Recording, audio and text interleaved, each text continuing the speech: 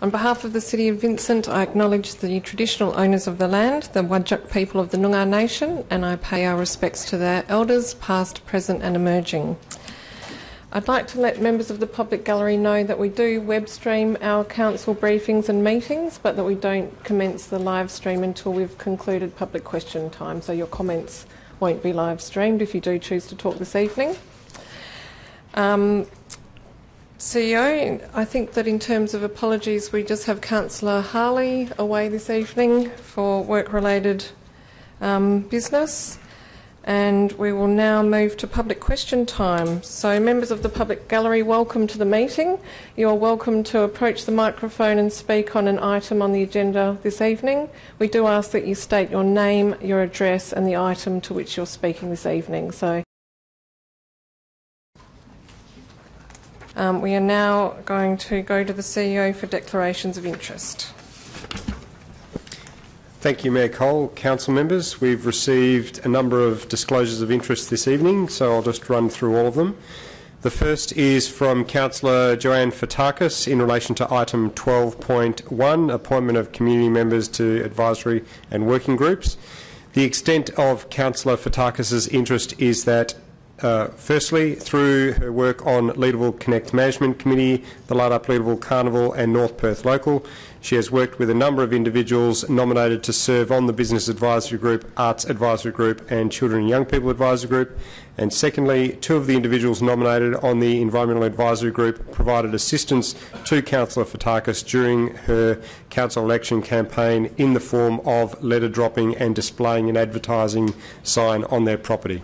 As a consequence, there may be a perception that Councillor Fotakis' impartiality on the matter could be affected. Uh, also, a disclosure of impartiality interest from Councillor Fotakis on item 5.4, the proposed Harwood Place item. The extent of Councillor Fotakis' interest in this matter is that she was employed by a real estate firm owned by the owner of the property between 1997 and 2003. As a consequence, there may be a perception that her impartiality on the matter could be affected. Further impartiality interest disclosure from Councillor Joanne Fotakis on item 8.2, Manor Inc. The extent of the interest is that Councillor Fotakis is the owner of an investment property on Beaufort Street located near the subject site in World Square. As a consequence, there may be a perception that Councillor Fotakis' impartiality interest on the matter could be affected. A further impartiality interest from Councillor Dan Loden on item 8.1, Loftus Community Centre. The extent of Councillor Loden's interest is that he is formerly a member of the Loftus Playgroup approximately two years ago. As a consequence, there may be a perception that his impartiality on the matter could be affected. An impartiality interest disclosure also from Councillor Susan Gontaszewski in item 12.1, appointment of community members to advisory and working groups. The extent of Councillor Gontaszewski's interest is that she has had contact with one of the applicants for the advisory groups in her role as a member of the Highgate Primary School Board. As a consequence, there may be a perception that her impartiality interest or her impartiality on the matter could be affected. An impartiality interest disclosure has also been received from Mayor Emma Cole in relation to item 8.1, Loftus Community Centre. The extent of Mayor Cole's interest being that her children have been enrolled in programs at the centre in the past, and one of her children continues to access a program where the operator has a room hire arrangement with Loftus Community Centre. As a consequence, there may be a perception that Mayor Cole's impartiality on the matter could be affected.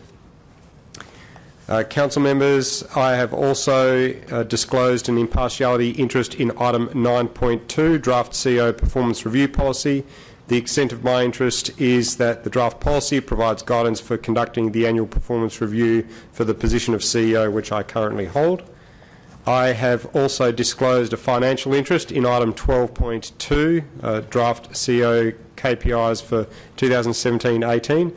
The extent of my interest in that item is that the key performance indicators that are ultimately agreed with Council through that report will form the basis for my next annual performance review, which will include a review of my remuneration. And the last disclosure I've received is from Councillor Castle. It's a financial interest disclosure in item 5.5, Town Centre Place Plans. The extent of Councillor Castle's interest is that she has an ongoing annual contract to provide graphic and web design, marketing and social media management services to the Mount Hawthorn Hub and Leederville Connect. This relationship could be impacted by future council investment in town centres or support for town teams in line with the draft town centre place plans. I have nothing further, Mayor Cole. Thank you, CEO. All right, we'll now move through the reports and ask questions. Um, but what I will suggest is, given that we've had two members of the public attend and ask questions on particular items tonight, that we go to those items first, given that they are still in the public gallery and probably um, be interested in hearing the questions and answers. So the first item on that basis will be um, item 8.4, which is a late report, Floreat Athena Football Club, Litis Stadium Master Plan. Councillors, are there questions on this item? Right, well, I'll start. Um, well,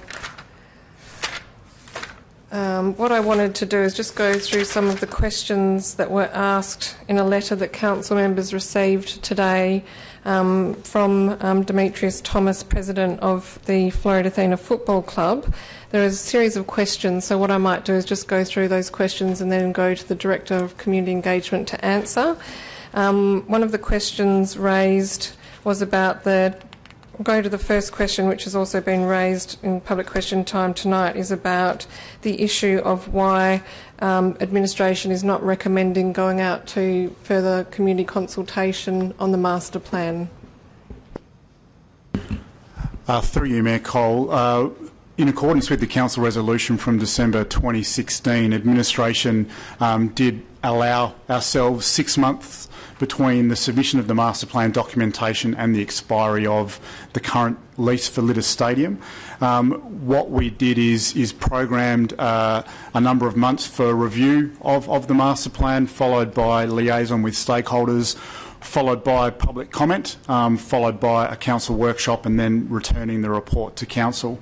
Upon administration reviewing the master plan, uh, it was clear there were two key components that were missing from the documentation, those being the, the facility management plan and the financial plan.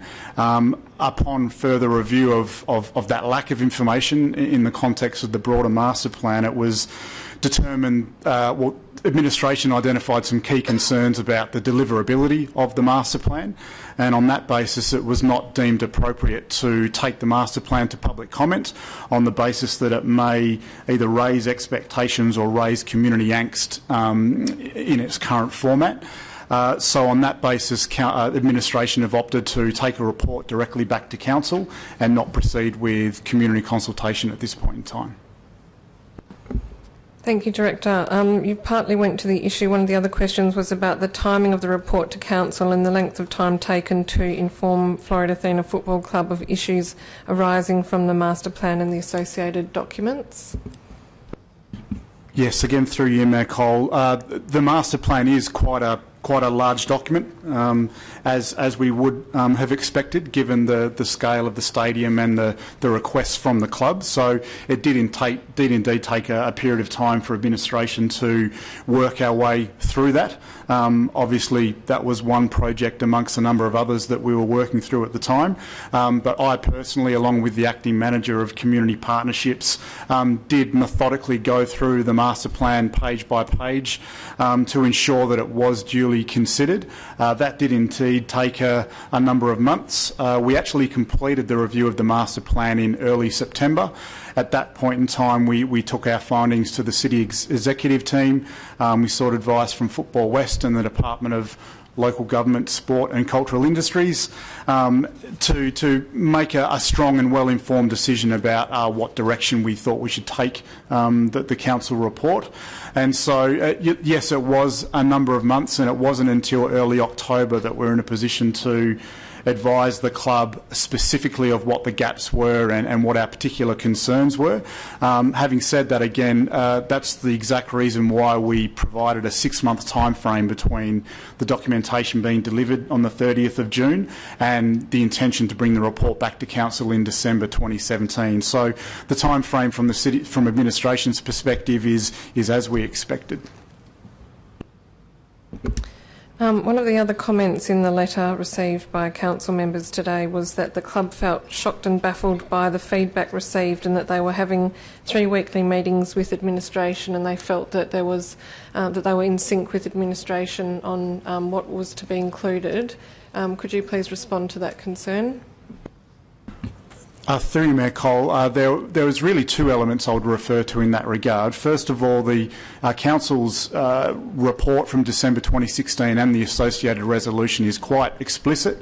It does say a master plan and then it specifically references key elements that were to be provided and the facility management plan, community benefit statement and financial plan were amongst those. So um, from administration's perspective, there was absolute clarity around what Council was expecting to be provided um, back for decision-making purposes.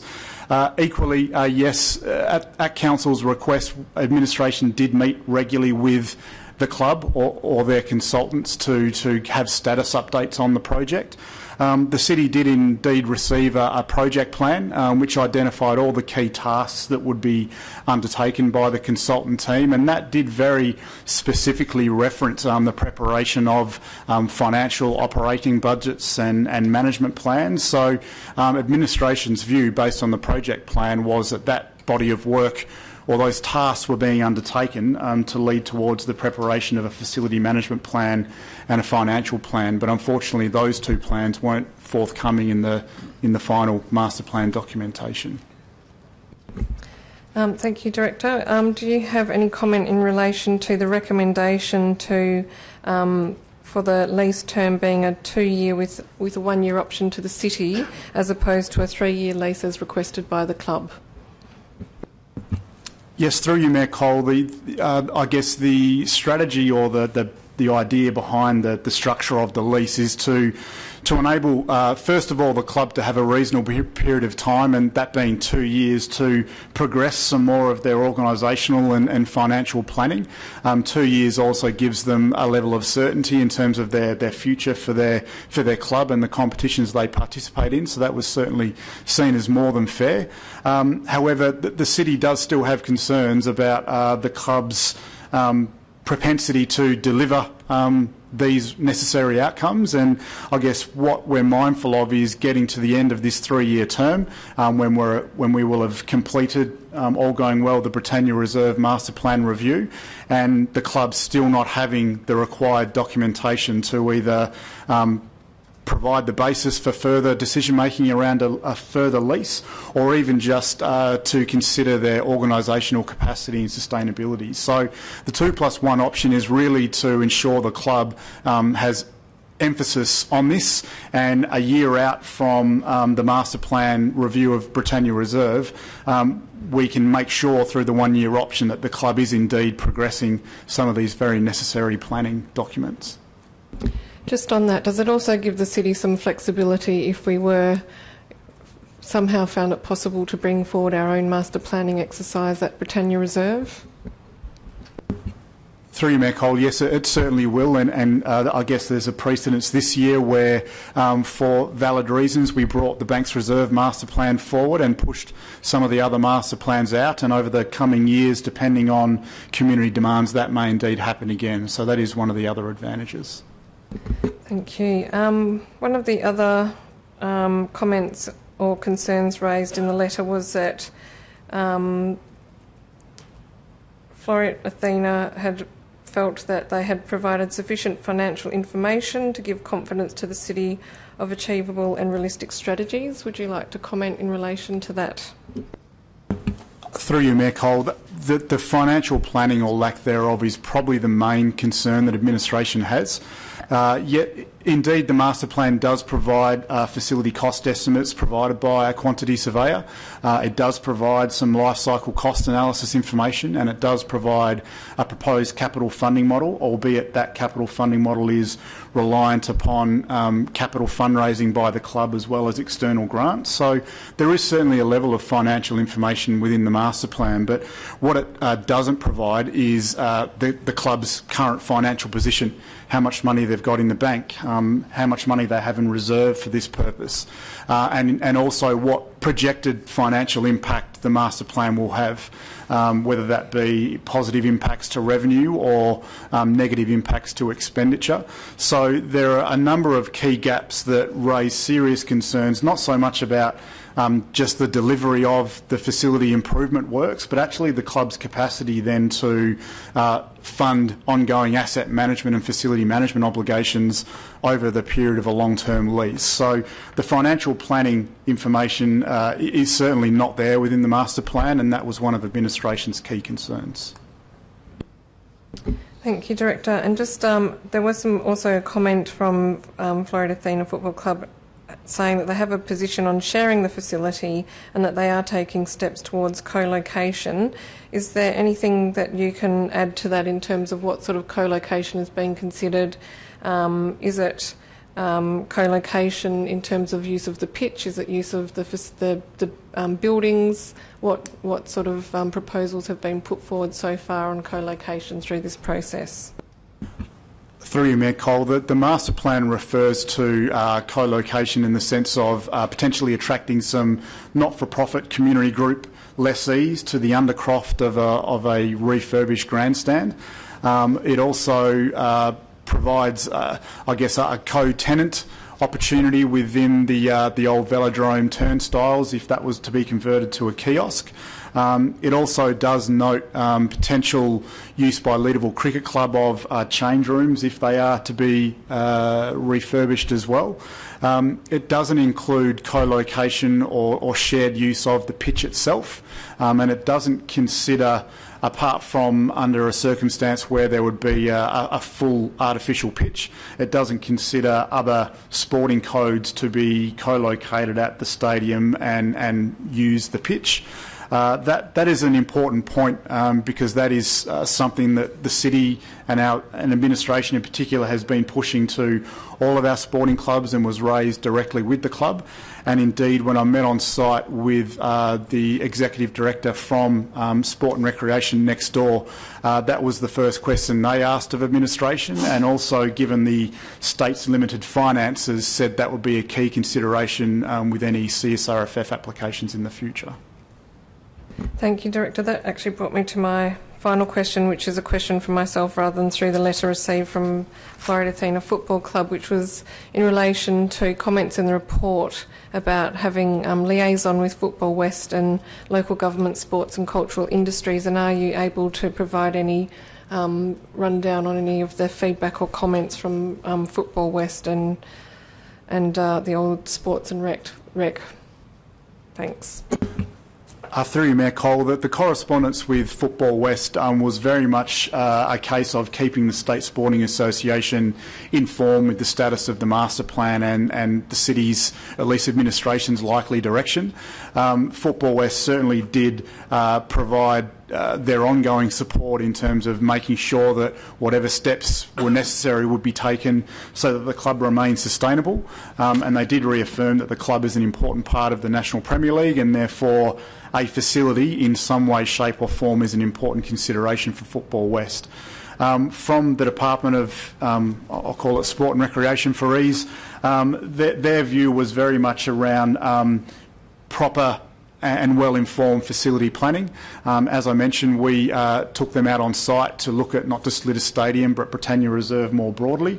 Uh, their commentary was very much around um, good facility planning, um, doing all of this forward planning work like facility management plans, financial planning, business case development before um, anyone embarks upon any level of capital work. So uh, that was generally the, um, I guess, the main thrust of the feedback from the department. Did they provide any commentary in relation to co-location of sporting clubs? Was that something that was discussed? Yes, through you, Mayor Cole. Co-location was um, literally the first um, bit of information that the department wanted to discuss further. Um, they did reference, although a, a different context, uh, the shared use between uh, East Perth and Subiaco football clubs at Leederville Oval um, and, and queried uh, whether that same uh, principle could be applied to National Premier League clubs. Um, whilst it hasn't necessarily been to this point in time, they certainly saw that as something necessary for both Football West and local governments to consider, given uh, the Football West NPL facility requirements um, expect quite a lot from community venues, and local governments won't necessarily be able to provide those for multiple stadiums for multiple clubs throughout the Perth metropolitan area. Thank you, Director. Councillors. Councillor Topelberg.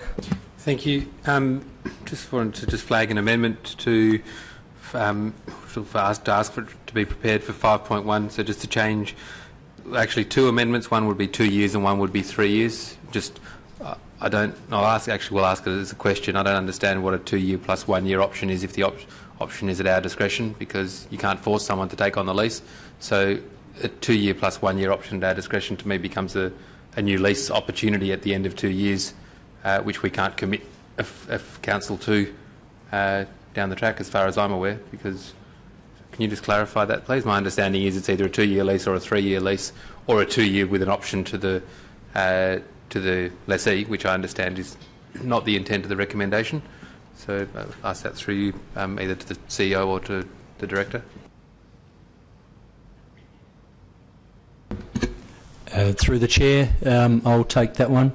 Uh, in terms of the intent of the provision, it, it is that the city would only be dealing with um, this particular group, and so therefore it's a two-year option, but yes, with a, a two-year lease, but with an option um, that is at the discretion of council, but would not consider a lease to anybody else unless circumstances warranted um, a total total look at it. So it, therefore, it could be an administrative process um, in terms of, of that renewal if all things had been delivered that were expected to be delivered in that time. So it's, we're not opening the door to say this is only a two-year lease, and at the end of two-year lease, you're you're out of there, and we're not we're not going to consider any further options. This is to leave the door open that, subject to the provision of information that's on the um, the books that we're saying we need, the council will consider a further one-year lease to the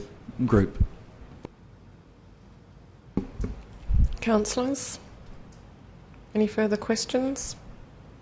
Okay, we'll move on to the next item that was raised from the public gallery, and that was item 5.4.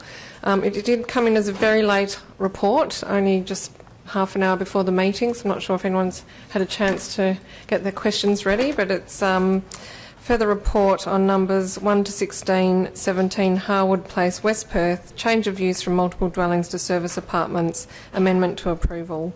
Are there any questions? Councillor Topelberg.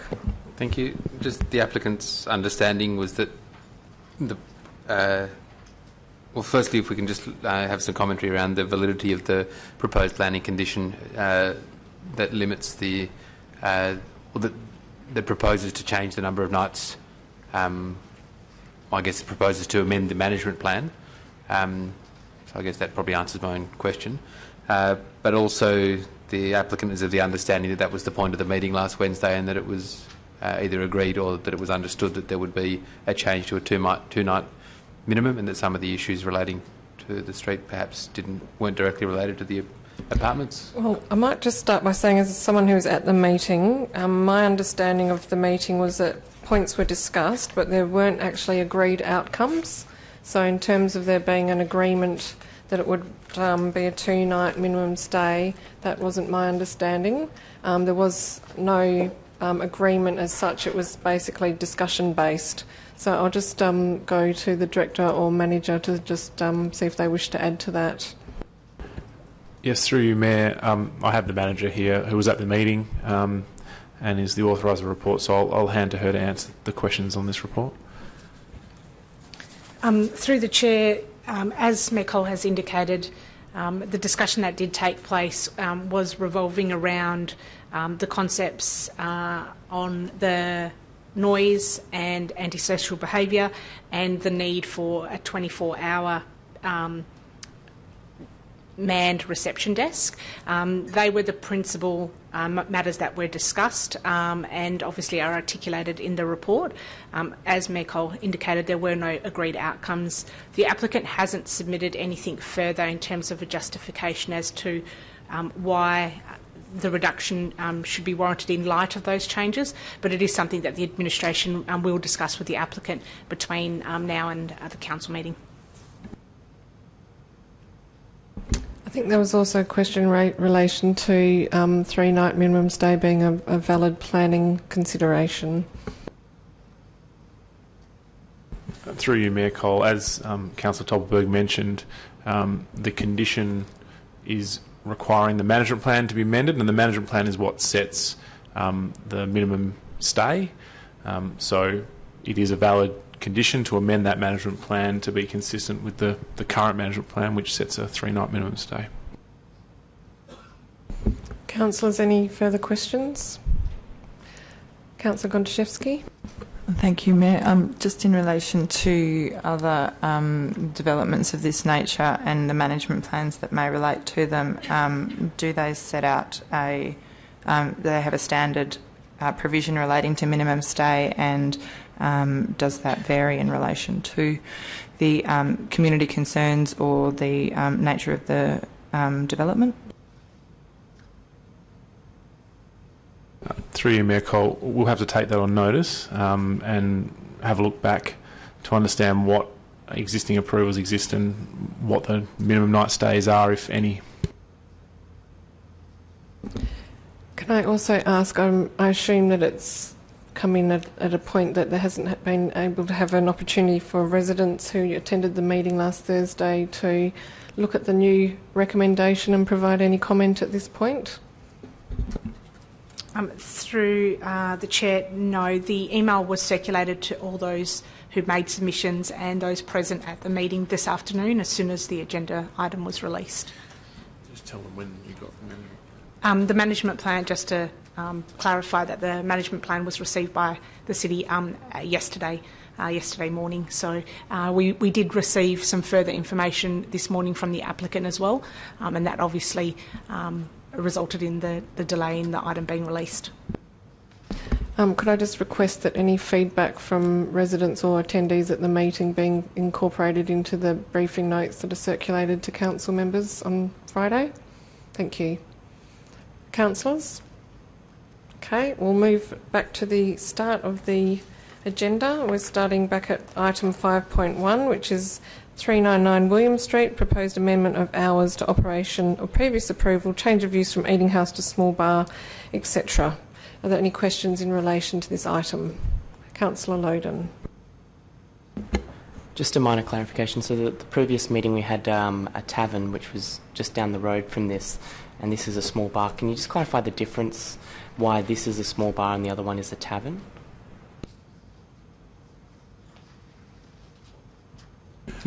through the Mayor, it relates to the liquor licence. Um, so a tavern is defined by the scheme as a venue that has a tavern licence. Um, this proposal is applying for a small bar liquor licence, not a tavern liquor licence. So it can't be defined as a tavern.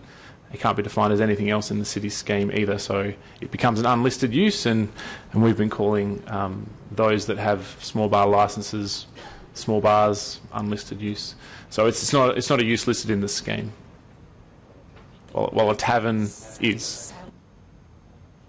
Yes, it does come down to packaged alcohol, which is why that place that was much smaller had to have a tavern licence because they were selling wine to take away. Councillor Topelberg. Uh, thank you, and I'll preface my question by saying that I know we've moved through a lot of the backlog, but I did note it took 112 days effectively to apply to open up on Sunday nights for the extra two hours before public holidays. Is there any reason why the application wasn't able to be assessed within the uh, within the, the um, statutory timeframe? Through the mayor, I'll have to take that on notice and understand the background. I it is um, it's just outside the time frame, and I would hope that with a full team and new processes which we've been implementing in the last month or so, um, that that won't occur in the future. Just on just on that, I will also, well note to ask. So the advertising complete on the 21st of September. So I would assume that there'd be a chunk of those days that would have been as a result of the monthly meeting cycle that it wouldn't have. It would have just missed out on being suitable to come to the October meeting, uh, which means that it was therefore delayed effectively four weeks because we only have a monthly meeting cycle. Would that be? Fair? If you, can take that on notice, but my guess is given that it was advertised relatively quickly, but it just missed the cut-off for the monthly meeting cycle. Uh, through the mayor, I'll take that on notice. Um, it did take a period of time for the application to be advertised, longer than um, the new process that we have just implemented would um, would allow, because we need to advertise these applications as soon as they're received to ensure adequate time for the applicant to respond to um, submissions that are received um, and uh, and still make um, the council meetings within the 90-day time frame. Councillors, any further questions? Okay, move on to the next item, which is uh, number 1662 Robinson Avenue, Perth, and numbers 5 and 7 Brisbane Terrace, Perth. Proposed amendment to condition of approval for four group dwellings. Are there any questions in relation to this item? Councillor Topelberg. Um, am I correct that the original recommendation was because the policy required dilapidation reports for any heritage uh, listed properties within a 150 metre radius? And if, if that's why it was originally required, uh, will we be seeing a proposed amendment to the policy giving, given that obviously the intent of the policy was not to require this level of uh, or th- this level of investment by a effectively four dwelling development? Through the Mayor, the current policy um, does not include a requirement for all heritage properties uh, within 150 metres to be uh, to include a dilapidation report. Um, at the time that this decision or the report was presented to council and this recommendation made, the policy uh, also didn't include that requirement. It was prior to that, um, to this original development application being approved, that that policy um, had that requirement. So it was a hangover. Um, the the officers at the time um, still considered the previous provisions when assessing that application, um, and were looking for a justification from the applicant as to why the proposal wouldn't impact on the heritage properties in the in the vicinity, particularly given the location of this development. So um, there's no need to uh, amend the policy. It's already been amended to address the issue. Councillors? Um, I think this would be a very good example to raise on the issue of why we should have no demolition without DA, if we're ever raising that issue with the, the Minister again. Um, I just wanted to seek some feedback on the applicant's views. I note that they have already completed two um, dilapidation reports for the adjoining properties and felt that that was sufficient based on their dilapidation survey performance solution report and that the city is recommending seven properties in total. Um, how has the applicant responded to that request? Yes, through your Mayor Cole, we've spoken to the applicant and they've confirmed that they are comfortable with completing the dilapidation reports recommended um, in this condition. Uh, they've completed most most of those already, so they have done the adjoining properties as well, or some of the adjoining properties as well. There's a few um, outstanding that they would need to need to comply with, and, and they're comfortable with doing that. Thank you. Any further questions? Okay, item 5.3, number 6 Church Street, Perth. Proposed amendment to previous approval, which was a change of use from a recreational facility yoga studio to recreational facility yoga studio, group fitness and personal training gym. And this is a retrospective application. Any comments or, sorry, any questions in relation to this one? Councillor Hallett. Sorry if this is a bit tangential. Um, is this related to the, I guess, acoustic checks for this um, location and wondering how, how comprehens- comprehensive are they?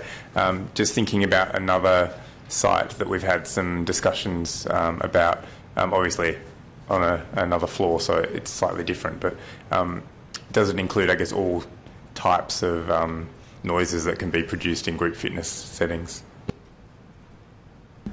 Through the Mayor, I doubt that it includes all types of noises. Um, there are certain assumptions that are included as part of these assessments.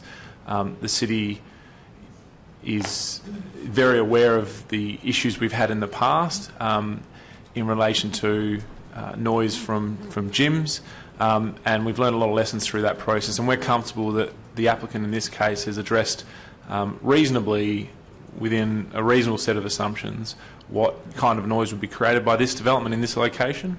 Um, and they've certainly addressed uh, all the recommendations that came out of that report and implemented them um, in the insulation and um, design and construction of the building. So um, we're satisfied with that in this case. Further questions? Okay. We've dealt with item 5.4 earlier on, so we'll move to 5.5, Town Centre Place Plans. Councillor Murphy. Yes, um, sorry. Uh, in light of uh, Councillor Castle's um, declaration, I think I should also declare a financial interest um, based on my work with Leederville Connect and Mount Hawthorn Hub. If that's okay, if I can uh, leave for this item.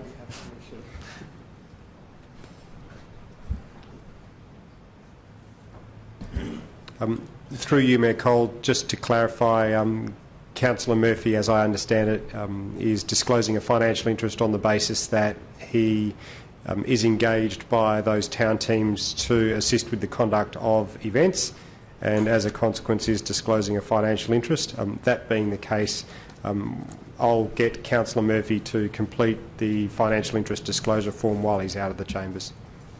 Thanks. Thank you, Councillor Murphy. Um, are there any further disclosures or questions? Councillor Fotakis. Um, through you, Mayor Cole. Um, Press button. Turn it off. Turn it off. just press it? Yep. Okay, thank you.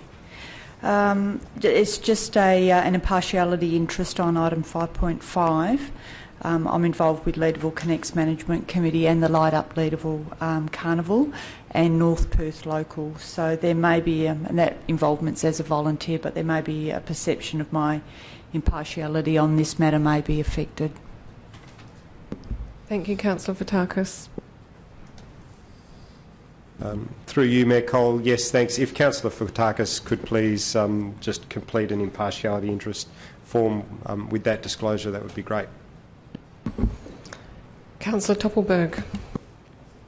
I have great, great interest, but no, no interest to declare as such.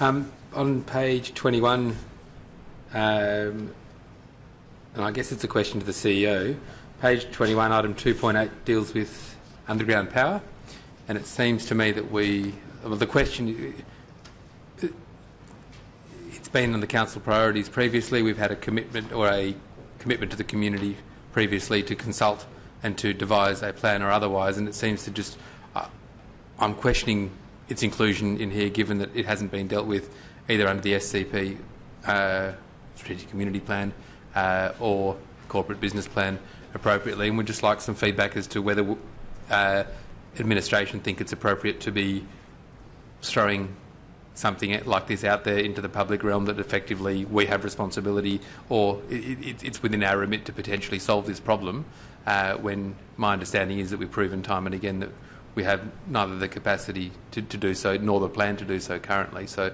just curious about its inclusion and um, whether you think it's appropriate to be in this space. Um, through you, Mayor Cole, administration did actually carefully consider that. Um, back in, I think it was November 2015, there was a comprehensive discussion paper that was presented to a then open um, council forum, and that discussed the pros and cons and estimated costs of rolling out an undergrounding power program throughout the whole of the city. Councillor Topelberg's comment that um, we don't have a plan or a strategy or the capacity to implement something like that at this stage or even for the foreseeable future is entirely valid. In this particular instance, um, administration felt it would be appropriate to include the action item to simply undertake a cost benefit analysis. So basically, do an investigation as to the viability, costs, consequences, etc., of implementing town centre specific undergrounding measures to actually um, improve the amenity and streetscape feel in clearly defined spaces of our town centres rather than across the city as a whole. We hoped that through the Imagine Vincent exercise, um, any community members who felt passionately about the subject would raise the issue. Um, it was very rarely raised, and even then, it was only raised primarily in the context of town centres and in the context of street tree preservation and to allow further growth of street trees. Um, on that basis, um, my opinion is that including that action item is fair and reasonable because we also know that it has come up from town centre focus groups and conversations among town teams in the past. So we felt it would be appropriate to at least close the loop on that, conclude a proper cost benefit analysis just so that we better understand what the um, costs and impacts and benefits are and then make a decision as to what, if anything, is going to be done with that. Um, but do so in a way that doesn't um, unduly create expectation that um, the city is actually going to go ahead and do any of that work. We first need to understand its costs and benefits. Through you, Mayor Cole, if I might just add to that, um, as the as the CEO said, um, the action in this case is a cost-benefit analysis of undergrounding power. I note that the attachment in the council report is not the version um, that was signed off. Um, so for some reason there's an incorrect attachment here and, and, that action is specifically different. So if you have a look at the electronic version that was emailed through earlier, I'm sure that that will be the correct version. You'll, you'll note just, that just to ask, so just 2.8 is different. On that it says here, because you're saying a cost-benefit analysis is the action, it says here, therefore a strategy to underground power is necessary. Those, those read like two. Are you saying that this, this is not, the, the strategy to underground power is not what's required. It should actually say a cost benefit analysis of potentially undergrounding power is the action. Yeah, uh, through you, Mayor Cole. Sorry, I didn't even recognise that because the version that was signed off on as the final draft did not include those words. Um, that's an error that administration will need to correct. Thank you so for raising it. Further to that, then, and I'll just ask up until 2012 13, uh, and particularly with the inclusion of a uh, a member on the Metro West JDAP. Uh, up until that point, the city had successfully uh, applied a planning condition for pretty much every development with nil setback over three stories, which effectively covers most town centres, to require the undergrounding of power as part of the planning approval. Uh, that was, as to the best of my knowledge, only ever challenged once uh, successfully with a development on Angove Street, at which point we actually, I think we tried to actually uh, apply a condition such that they would contribute at a later date to a uh, communal fund, uh, um, and we did investigate opportunities to do it by policy, to actually have a uh, cash in lieu requirement or otherwise to do it collectively. But did we ever get legal advice in relation to the validity of the planning condition? Because I know it was subsequently removed from all DAP applications just because one of the DAP members said that they wouldn't support it because it required uh, the it required the, the uh, it was a third party uh, asset or otherwise. But as I say, uh, from to my knowledge, it had been successfully applied by the city for as long as the city existed prior to that. Did, can we check if we ever did get that legal advice, and if so, uh, can we see if such a condition would perhaps be valid? Yes. Director. Through you, Mayor Cole, yes, um, I can take that on notice and provide that information. Councillor Gontaszewski. Oh, through you, Mayor, just in relation to item 1.2 of the North Perth Town Centre Place Plan, which relates to the Woodville Reserve Master Plan. Um, I believe I've asked this previously, but just querying um, uh, the reasoning behind including um, an item um, that actually exists outside the North Perth Town Centre Place Plan boundary as indicated in the document. Through you, Mayor Cole, Woodville Reserve is considered to be a fundamental um, green space associated with the North Perth Town Centre, and that was the reason why it was included, even though it's outside of the boundary. People that use the town centre um, do also use Woodville Reserve, and so because of that connection, um, it was included in the recommendations for the North Perth Place Plan. So, just following on from that, is there intention to include within other town centre place plans um, items from the corporate business plan that may also relate to adjacent open space? Through you, Mayor Cole, it will depend on the town centre and the amount of open space in that town centre and whether there's a need. And through the process of developing the place plan, we identify there's a need for um, additional work to be done on surrounding open spaces or new open spaces um, in the vicinity. So when we, we don't want to be bound by um, the boundary that we've drawn for the town centre because it really depends on um, what improves and helps develop that town centre, irrelevant of where it's located in the context of the boundary. Councillors, Councillor Hallett. Uh, through you, Mayor Cole, to the Director of Development Services. Just um, with the ordering of the volumes um, that's set there, are they the order in which they're going to be delivered, or has that already been set as a priority? Through you, Mayor Cole, it hasn't been set by council, but that's the intention, is for um, each of the town centres' place plans to be developed as has been set out in the order in the volume series. Just to follow on to that question, is that on the basis of readiness to go, given that some of the place plans also incorporate the town centre action plans? Is that one of the rationales?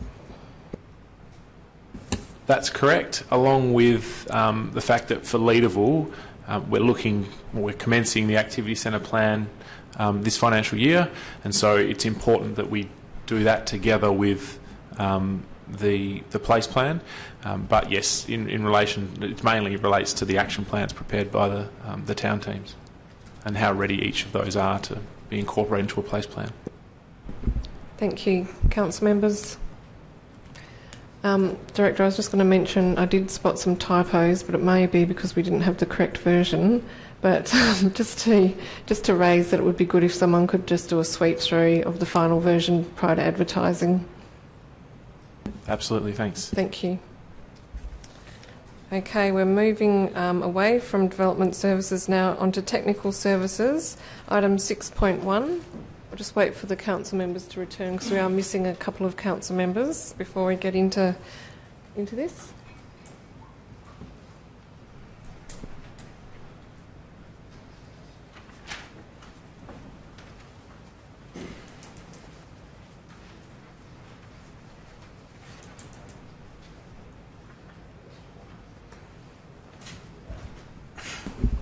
Okay, we're now into technical services with the first item 6.1 Hyde Park Oblong Turtle Population Study.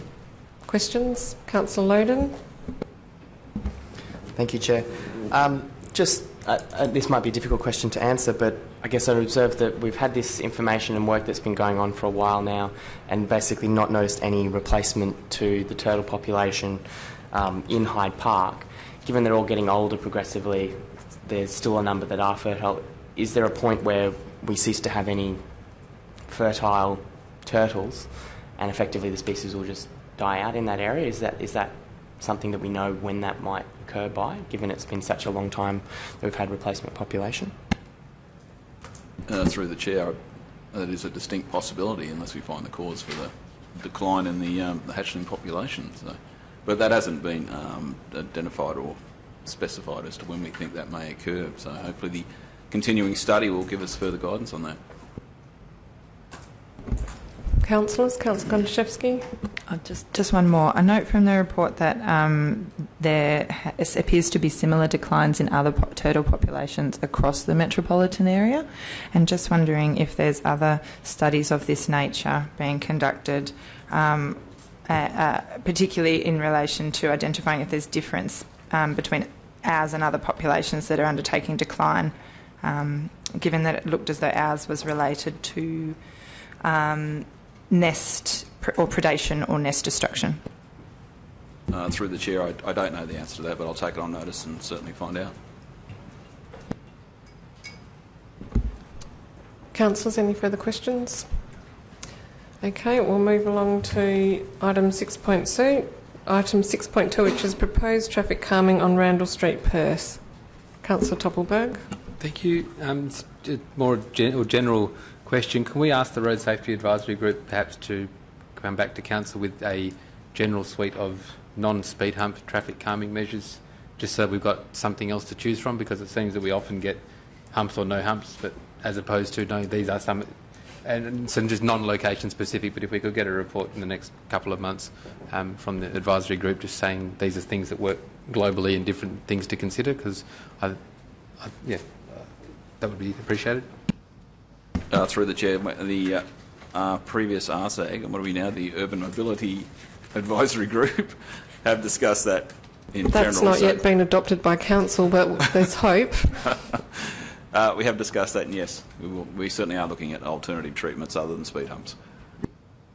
Director, it might also be useful to just address the issue of. Um, it's not really a matrix, but the um, if you could just talk us through the discussion that we had at RSAG around um, the the sort of assessment that that we would um, put these proposals through prior to them coming back to council. uh, through you, uh, Madam uh, Mayor Cole. We've been discussing in general terms that the RSAG a warrant system, which is quite common across local government. It's essentially it um, takes a, a number of scenarios and gives them a, uh, affords them a score, and then we set a minimum criteria that we think that should be uh, some degree of intervention.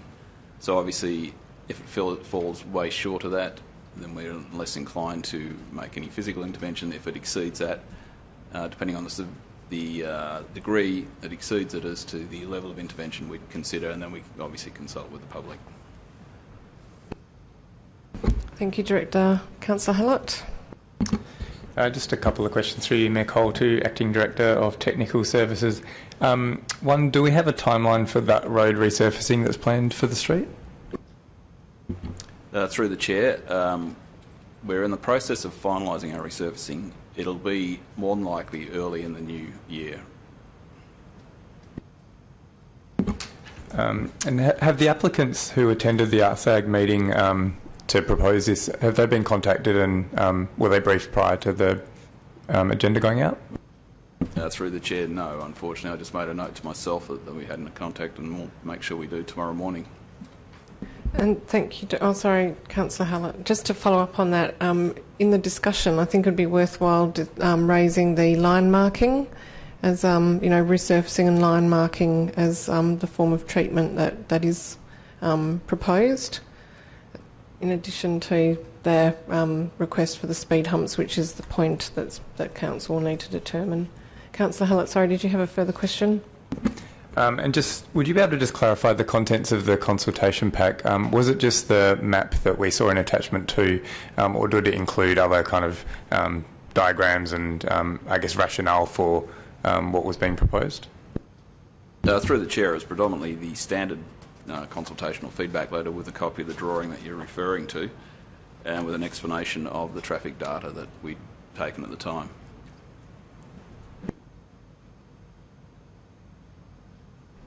Any further questions? Okay. Moving on to 6.3, late report, Safe Active Streets, Bike Boulevard Progress Report 3. Are there any questions on this item? Councillor Loden.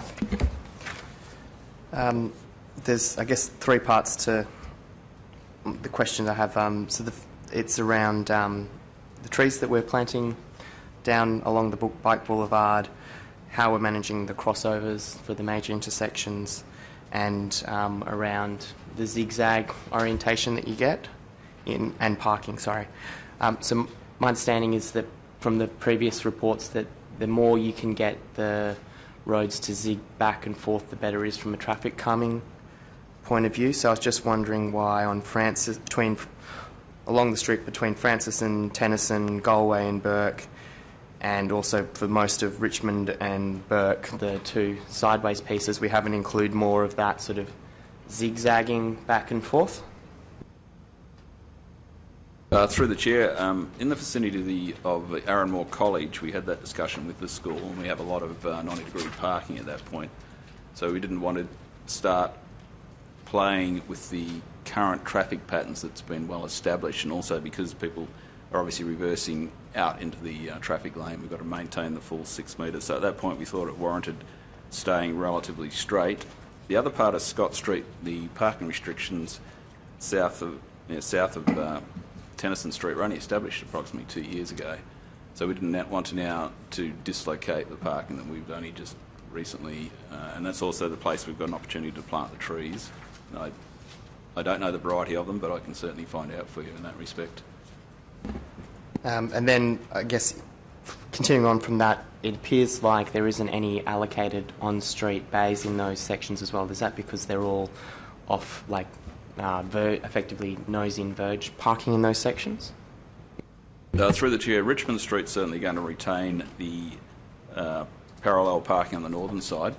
Southern side, adjacent the Loftus Centre car park, is all 90 degree parking. So we've got to maintain the uh, essentially the six metre aisle, which is the red asphalt.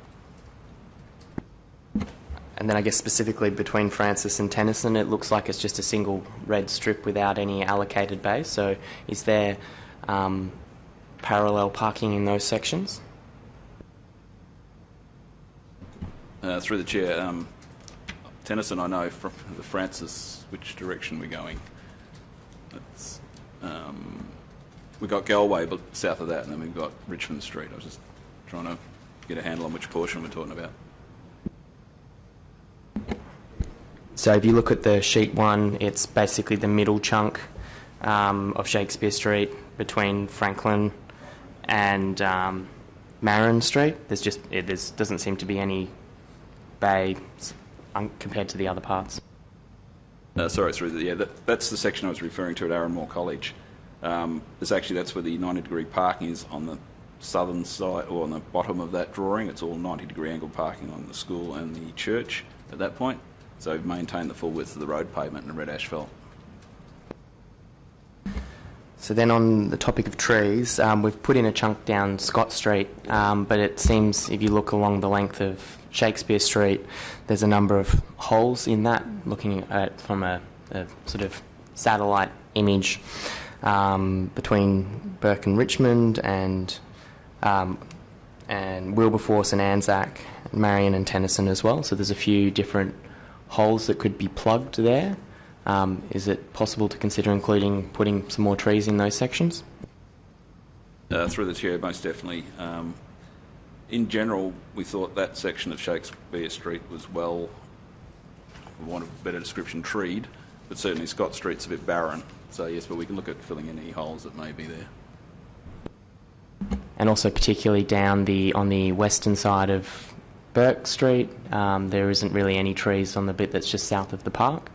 Um, now, I guess some of them are informal parking bays as well, but maybe on the southern side or something, it'd be good to include some there if possible. Certainly, we can reassess the trees for the full length of the route. Yeah. I, mean, I guess more broadly, it's just in the context of our um, tree, our um, greening plan. We sort of have this sort of certain distance between trees to try and create that full canopy along the length. Um, and then the other one is um, how do we cross? How do how do the bikes get across Scarborough Beach Road, across Anzac, and across Bourke Street? Uh, through the chair, Scarborough Beach Road is probably the most difficult crossing. Um, while the clarity is not great, you can see there that we're going to extend the red strip through as a visual uh, cue to drivers that there's something happening in the middle of the road.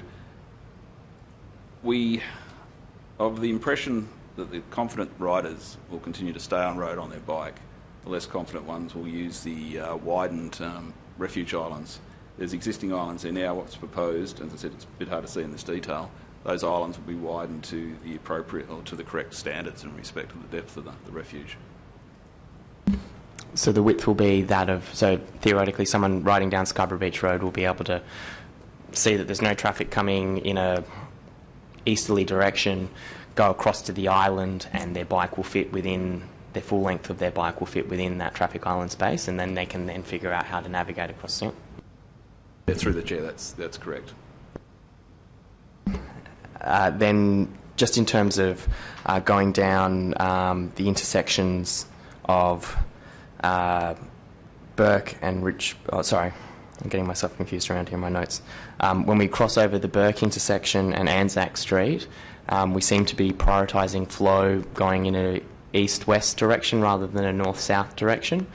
Is there an option to change that around? Was there any reason why we did it that way rather than effectively making the priority direction for flow the, the bike path direction, in like a north-south orientation, to help ensure slowing of those people travelling in an east-westerly direction. Uh, through the chair, Anzac at that point is still a local distributor road, so technically it has priority.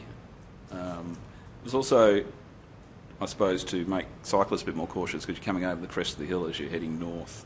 So it's an opportunity for them to slow down, and that can be changed. One of the discussions we'll have with Main Roads is changing it to a give way.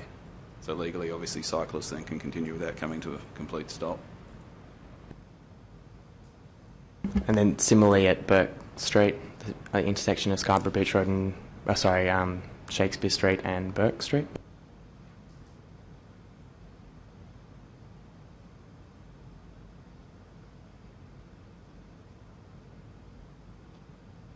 Uh, through the chair, uh, a similar scenario. Bourke Street's obviously um, District Distributor B Road, so it has the priority over the um, Scott, what is Scott Street at that point. Thank you. Council members. Um, Director, I did have a couple of questions. Just wanted to talk about or ask a question about the consultation, and I notice that this will mainly be dealt with through packs being distributed to residents, and that the phase one had quite an extensive and intensive consultation, which included a forum and on-site consultation with residents. Do you feel that this approach will be um, sufficient for phase two, in that there's not forum hasn't, for example, been arranged? Through the chair, we anticipate that we will actually meet individuals and or groups, if that's what they prefer, to, to actually walk through specific locations on the route and talk about what can and can't be achieved and, and the rationale behind it. So we didn't think it was necessary to have a, a community forum as such, but certainly meet with uh, residents and individuals if, as need arises. Okay, thank you. And I also just wanted to check with the slow points. I know that um, we've had this discussion where they're at grade um, at the at phase one Shakespeare Street, whereas the um, Bayswater option had the curbing around trees.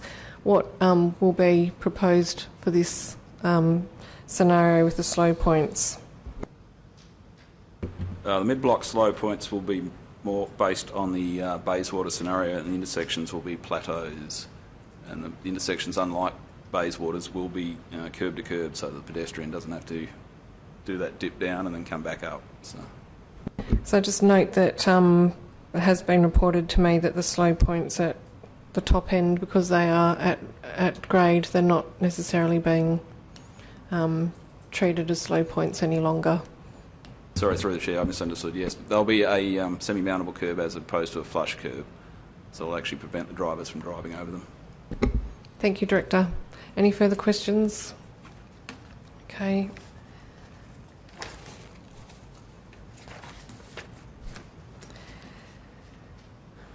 Um, corporate services, item 7.1, funding request for replacement of corroded structural columns at the Azzurri Bocce Club at 3 Lawley Street, uh, West Perth. Any questions in relation to this item? Councillor Loden. Um, so we've got the three quotes, and they all seem to be equivalent. Um, it, it seemed strange that ferret boiler making is like almost a third the price of um, Devco, and Devco is also our usual provider, who we usually go for, to for all this stuff. So um, they seem to be quite high cost. Uh, do you have any comments on that? I guess. Uh, through the chair, we uh, certainly have verified that the scope of work that each quoted on was the same and they all had the same understanding, and that the lower priced quote does indeed cover the full cost of the works, and um, we are assured that it does. So um, we, we, have no reason to believe that it will does not cover the, the cost of the. They may well just have lower overheads. Uh, through you, Mayor Cole, just in relation to the comment about Devco, um, Devco has been appointed through a tender to, from memory, do the small small maintenance contract, and that was for prices specified as part of their tender submission. And this is an entirely different project altogether, so not captured as part of that. Council members? May may I add, uh, if I may, something to that? Um, Devco would have subcontracted this work out, whereas uh, Ferret Boiler Making are a specialist firm, and that's part of the difference in price. Thank you, Director. Um, no further questions. So moving on to 7.2, late report, investment report as at the 31st of October 2017. Questions? Councillor Loden? You don't even need to raise your hand.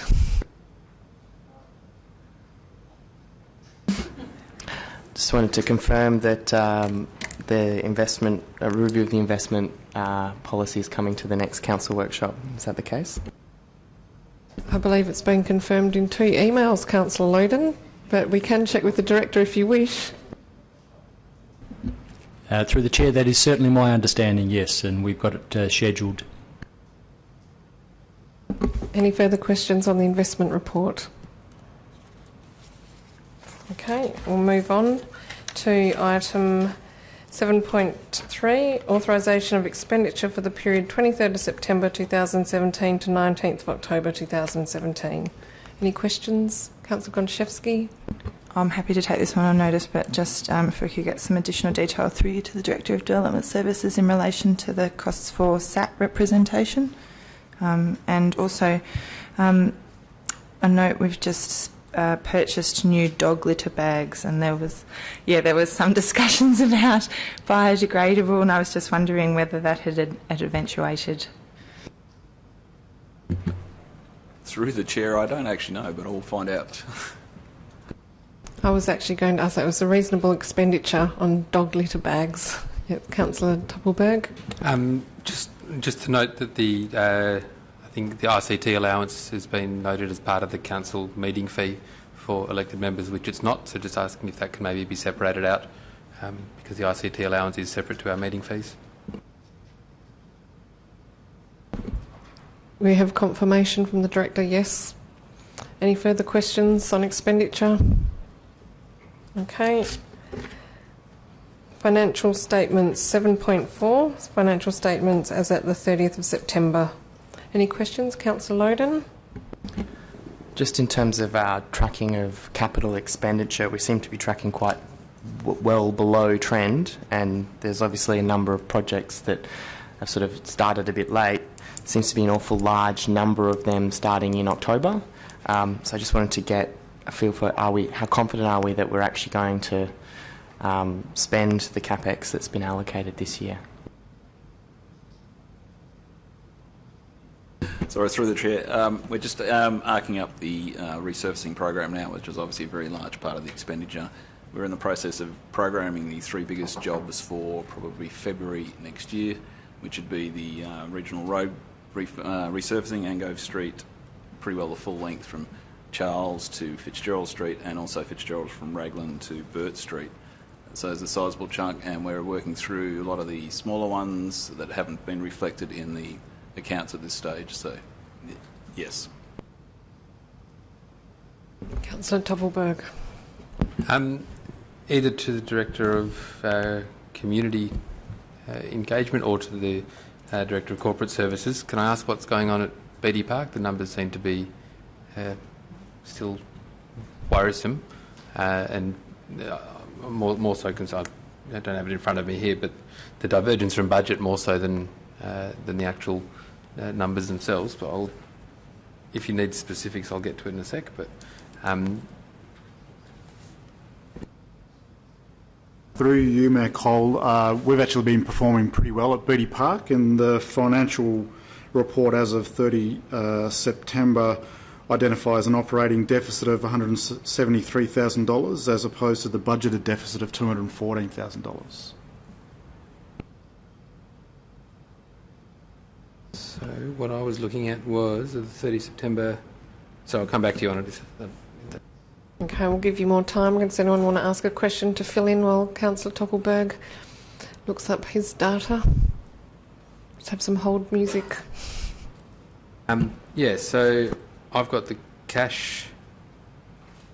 Uh, I've got the year-to-date 17-18 budget uh, showing the cash surplus budgeted to be 78,000 and then the actuals to be 116,949 in the red. Have I read that wrongly? So, uh, through the chair, uh, it's $116,000 surplus cash versus a budget of a $78,000 deficit. So we're actually ahead at the um, net position. S- So it's a, it's a red deficit. Thank you. That might have been the version that was supposed to be replaced. Okay. Um, any further questions on the financial reports? Okay. Um, we'll move on to community engagement. Item 8.1, the Loftus Community Centre request for waiver and write-off of fees. Any questions on this one? Councillor Loden? Uh, just looking at the recommendation, um, the rent seems to not have a time frame associated with it. I think it's supposed to be per year. Is that correct?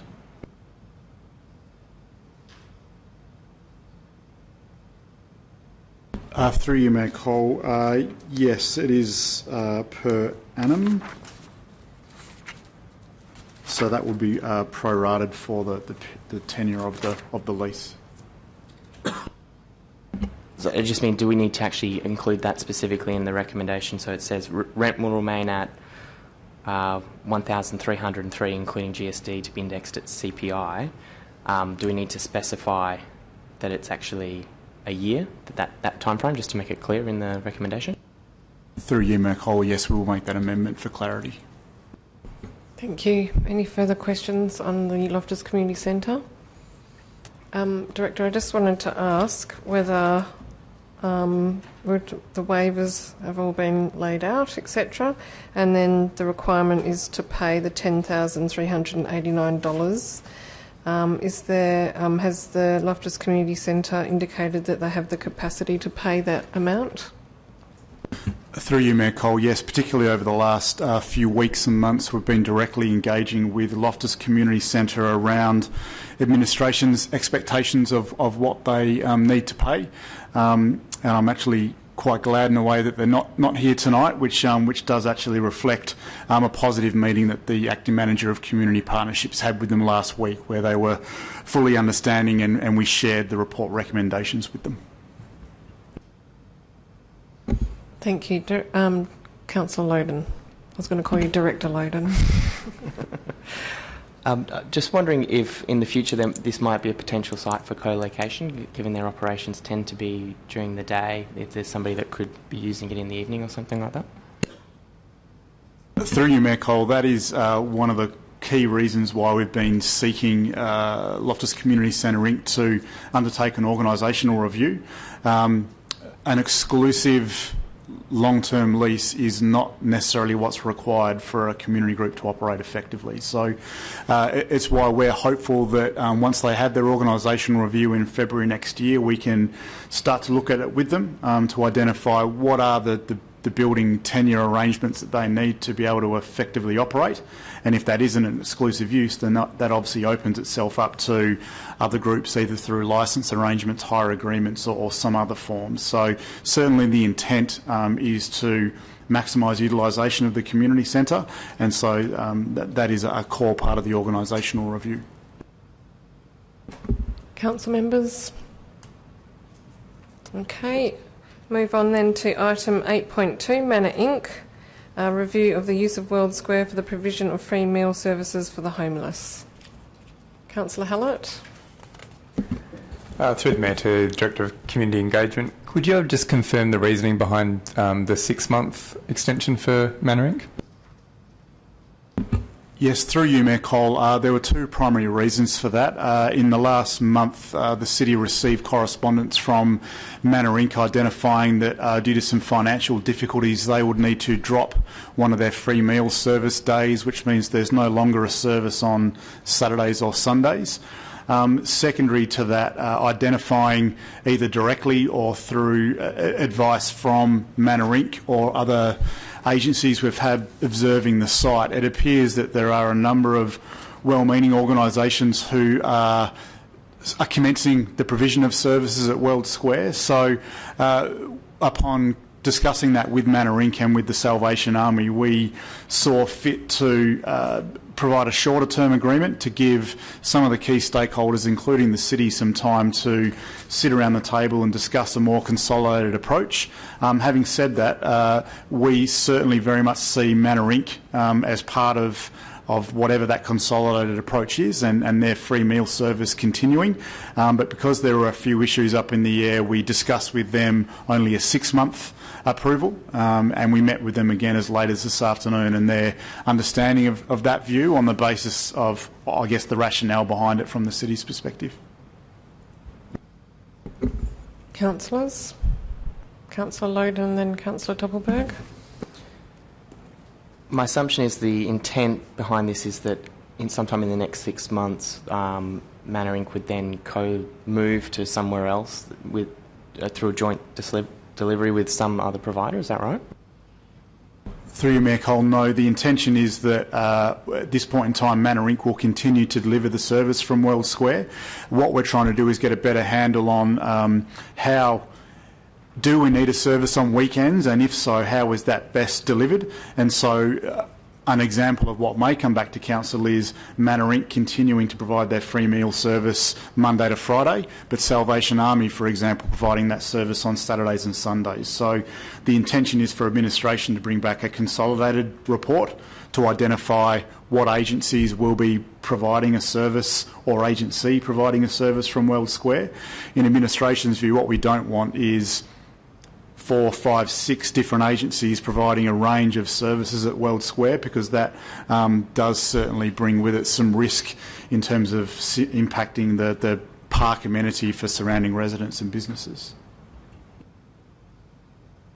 Just following up from, uh, how confident are you that we will be able to get to that resolution point within the next six months?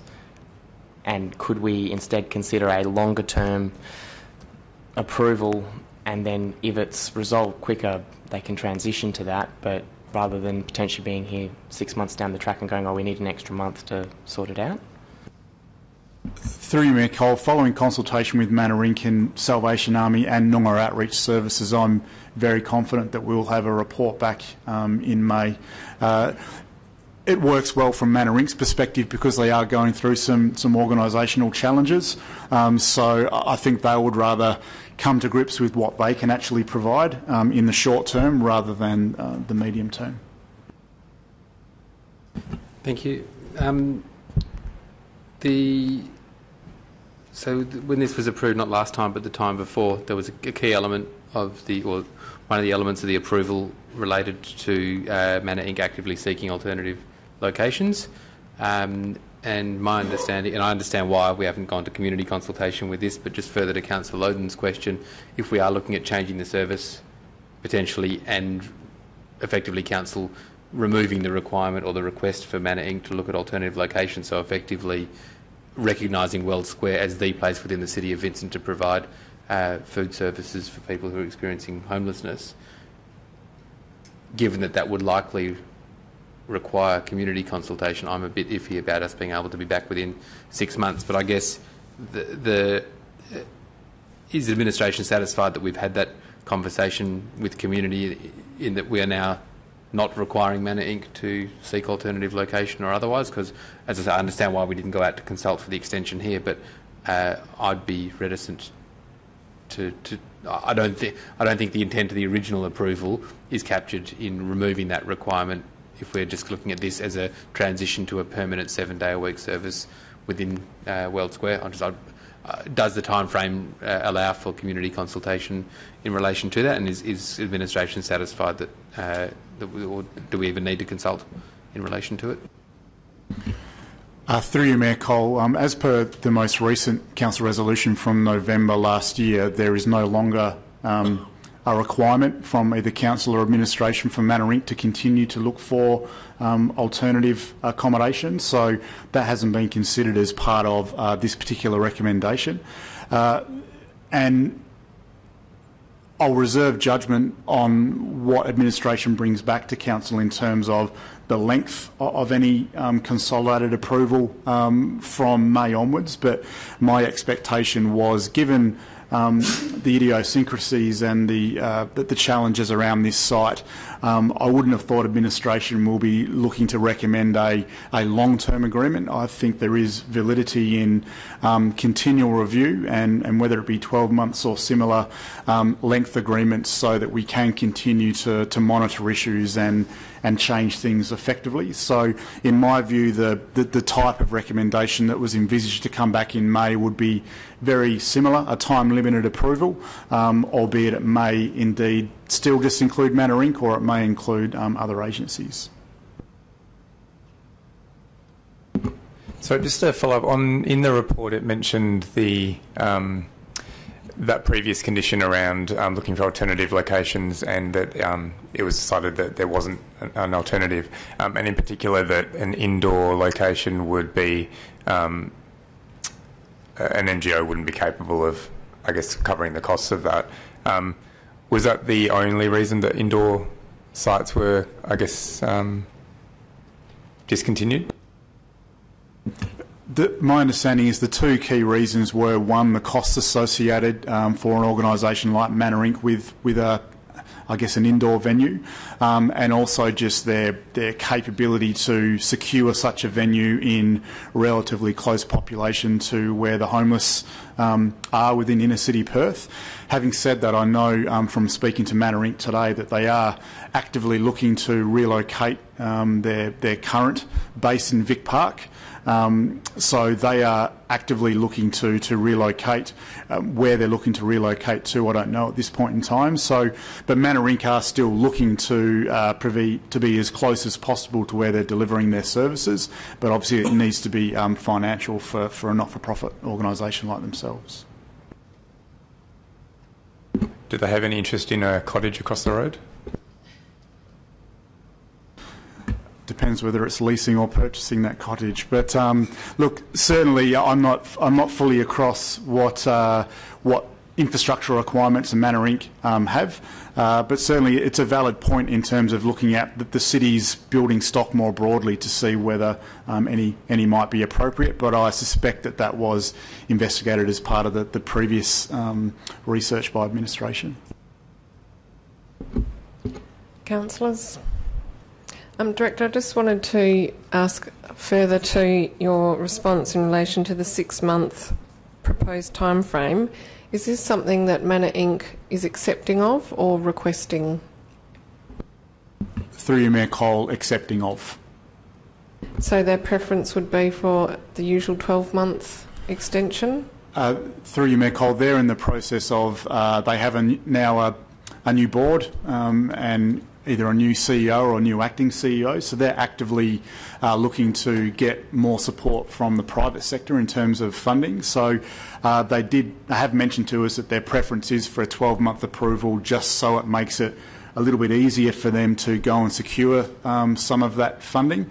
Um, so that that is uh, their preference from from that perspective. Having said that, um, they are have fully brought into the, the process of discussing with some key agencies this consolidated approach and um, have no problems apart from that sponsorship side of things with a, with a six month approval.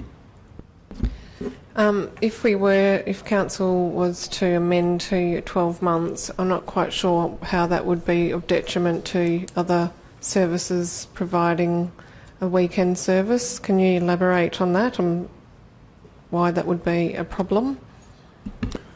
Through you, Mayor Cole, uh, there is no problem as such. Um, we could continue to, we could do this review with other agencies whilst um, Manna Inc. have a, a 12-month approval and, and if we happen to reach a different outcome before that 12 months, bring a, a report back to council. So there is no risk from that perspective. It was really just um, putting a definitive time frame more so on administration and the agencies we'll consult with to um, give this some genuine consideration within a reasonable time frame and, and come back with a solution.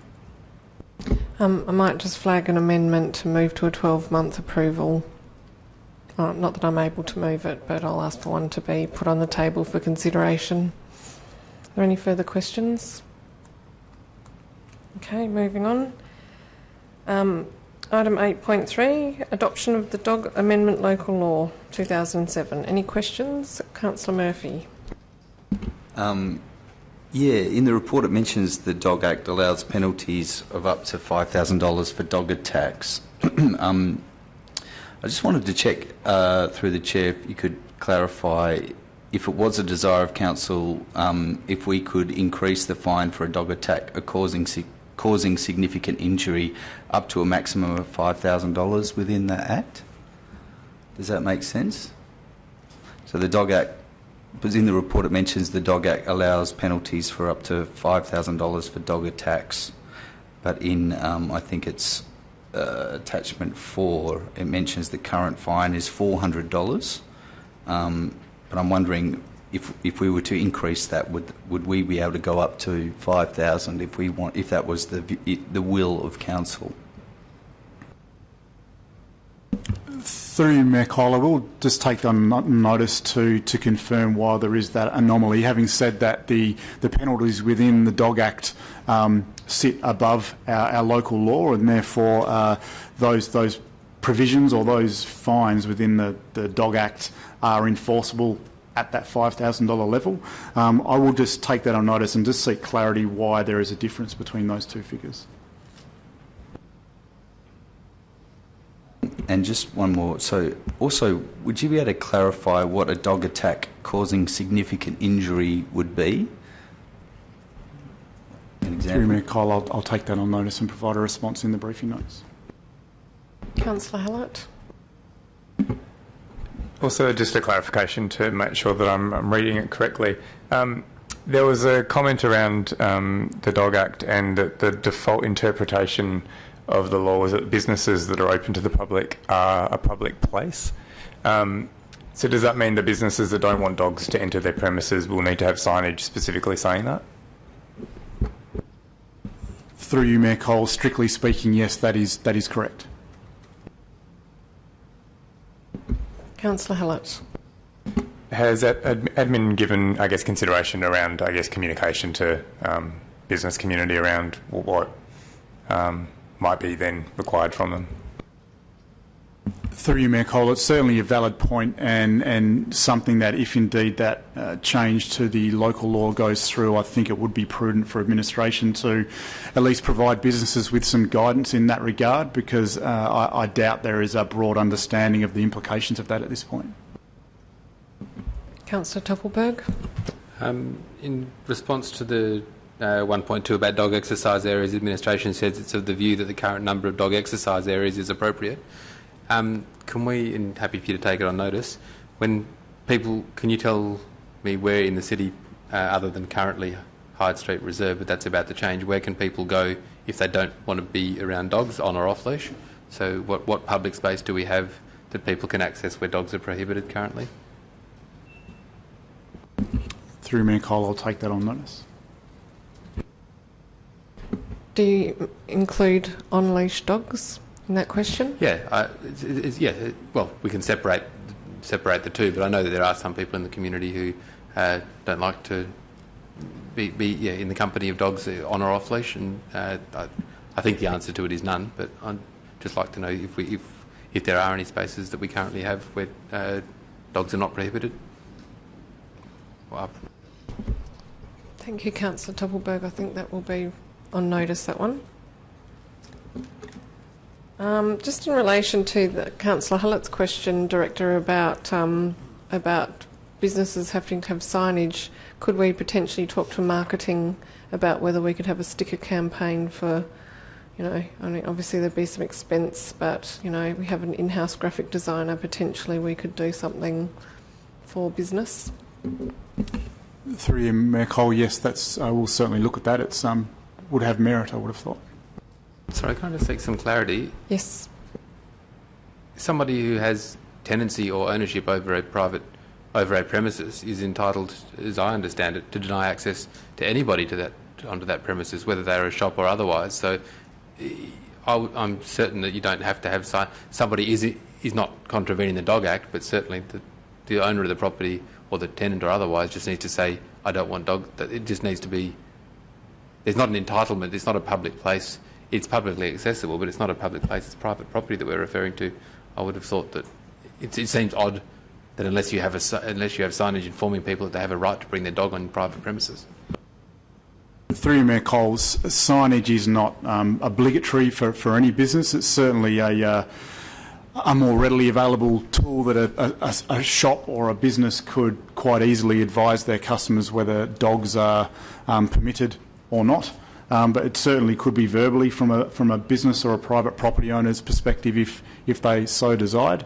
Um, obviously, with the Dog Act provisions no longer um, enabling the, the city to prevent access to public places and more so those private shops um, and similar that, that fall under that same definition, it would um, that that's where it really is. It falls into trespassing and different legislation as opposed to um, the Dog Act or, or indeed the city's local law.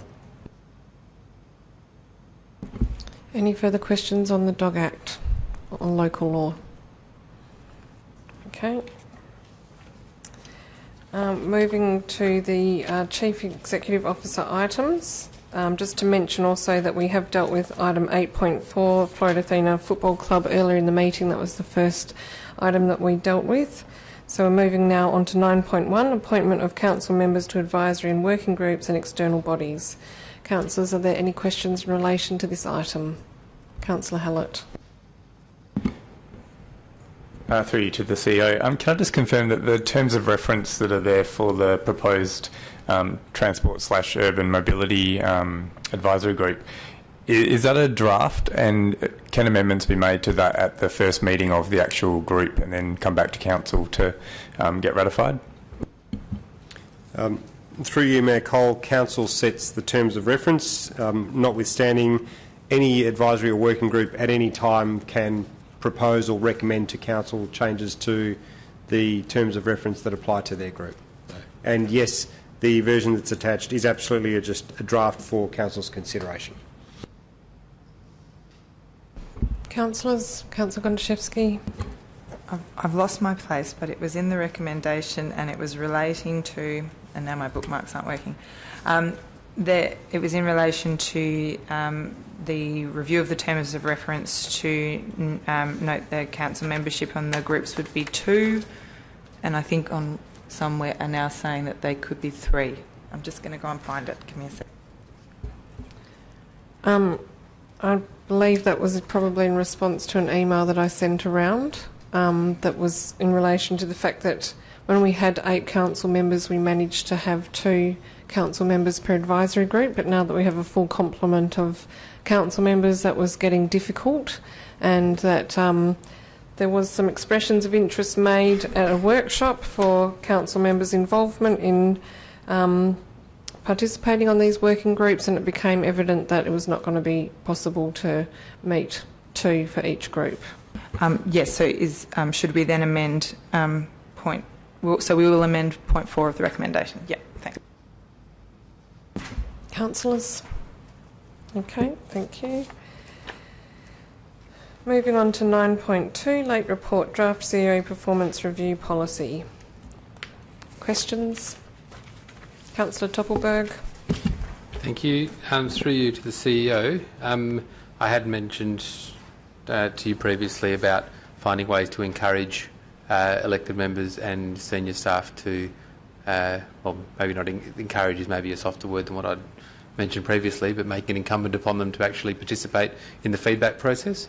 Would that be something that would be most appropriately? And I've had a look. Um, so there's a clause in the code of conduct which uh, reads. Uh, council members and employees will give effect to the lawful policies of the local government, whether or not they agree with or approve of them. And so basically says that whatever the, they have to adhere to the policies that uh, that exist. Would this be the appropriate place to uh, um, to make it uh, to voice the expectation of people to participate in the process, or would it be better served through the code of conduct itself? Through you, Mayor Cole. Um, not exactly an easy question to answer, but in short, um, I would say if Council wanted to attempt to mandate that, it would be best done through this policy, because this policy would then provide the guidance for that to which the Code of Conduct would be referencing. However, in relation to staff participation in a feedback on the CEO's performance, um, given that staff participation is entirely confidential, neither council members nor I nor the recruitment consultant will know the identity of who has or has not participated. Um, I suggest it would be near on impossible to ascertain um, of a pool of staff that were invited to participate in a survey which of them did or did not participate. So enforcement would become a problem there. I think the similar principle might apply to um, council members, unless, of course, council members felt comfortable sharing with the um, CEO Performance Review Panel um, which council members have or have not participated in the survey. Well, I'll, speak more next week to the statistical accuracy, but I, um, I will. It would now be the appropriate forum to uh, foreshadow the amendment, or should I just email it around? It would. Well, it'll, be to insert a new 3.7, which basically um, identifies that there's an expectation to provide feedback. The nature of that feedback I'll speak more to next week. It doesn't. It can be neutral or uh, non-participatory, but um, yeah, I'll, I'll speak to that next week. Thank you for flagging the amendment. Um, are you suggesting that you'll be emailed email the wording through? Thank you, Councillor Topelberg. Councillor Loden. Uh, two queries. The first one's a minor one. Um, under 1.3 states the panel will be made up of the mayor plus three other councillors. Um, is there merit in including some flexibility similar to the advisory committees that it's up to three councillors in case we can't co-opt three councillors into being on the uh, the panel?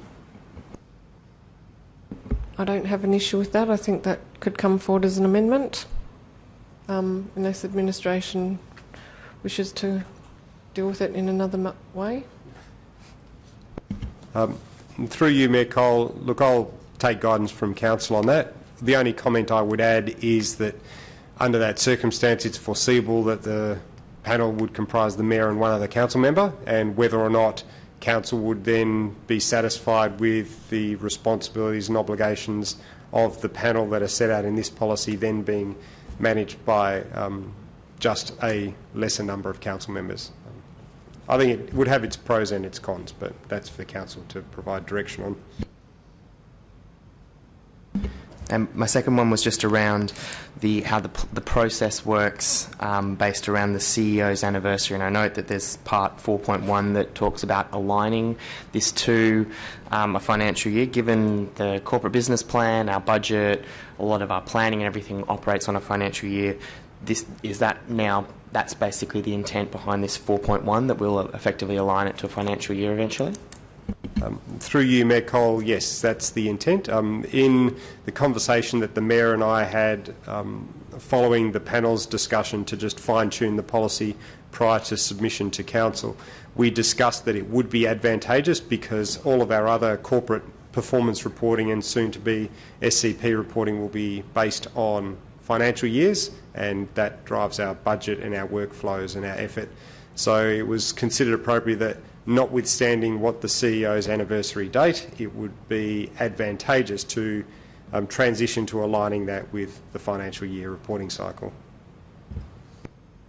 And I guess just relating to the other item, but on this topic, so the um, annual review is through till end of July next year, and then the idea would be the following year would be till June, and we'd be all lined up then. Yeah.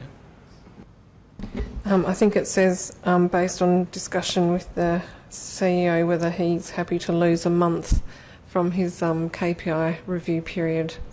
Um, there definitely be need to be some notice and some alignment of the KPIs to a reduced framework um, time frame rather. Council members.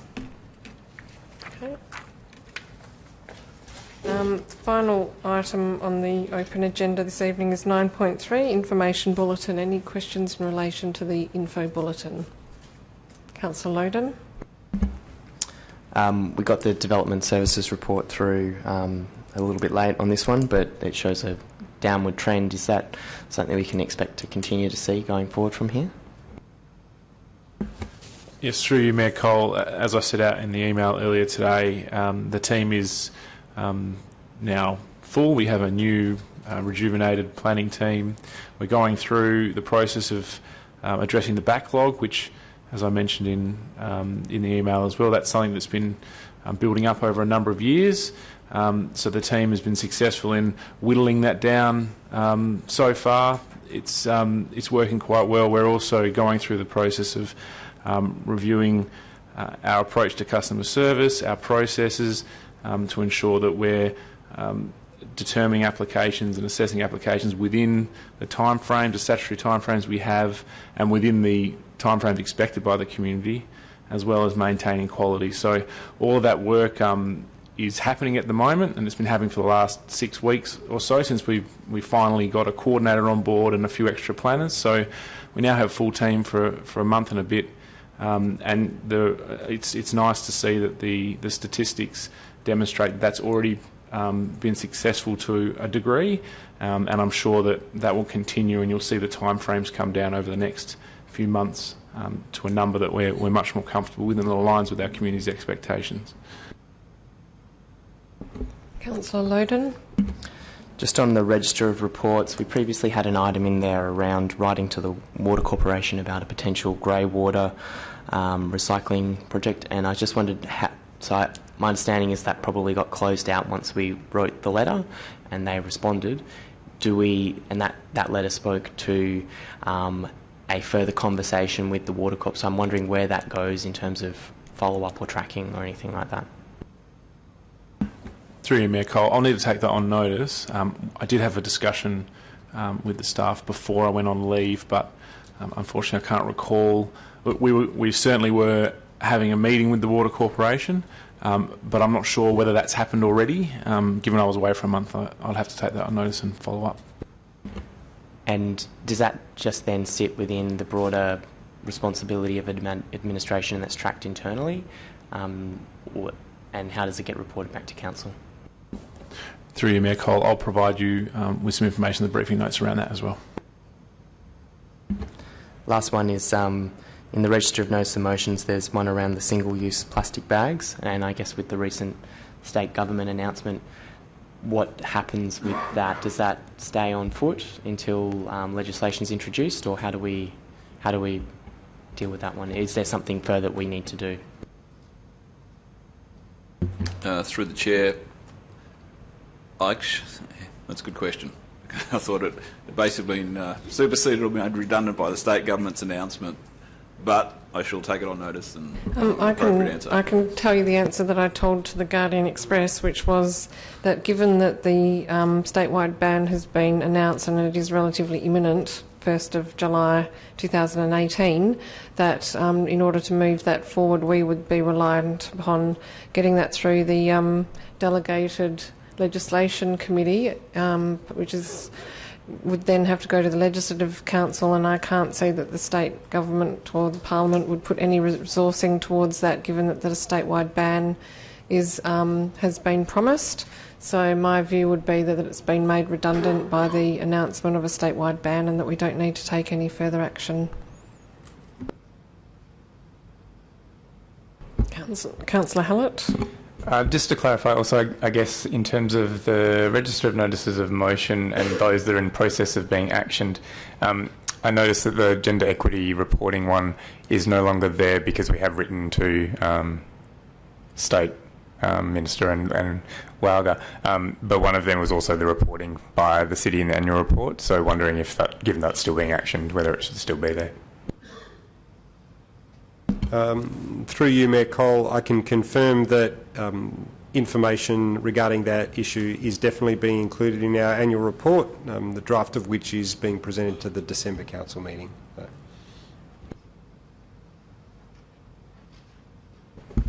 Any further questions on the information bulletin? Okay, that. Uh, We'll now be moving behind closed doors for two confidential items this evening. So, for those who've joined us on the live stream, we say thank you and good night.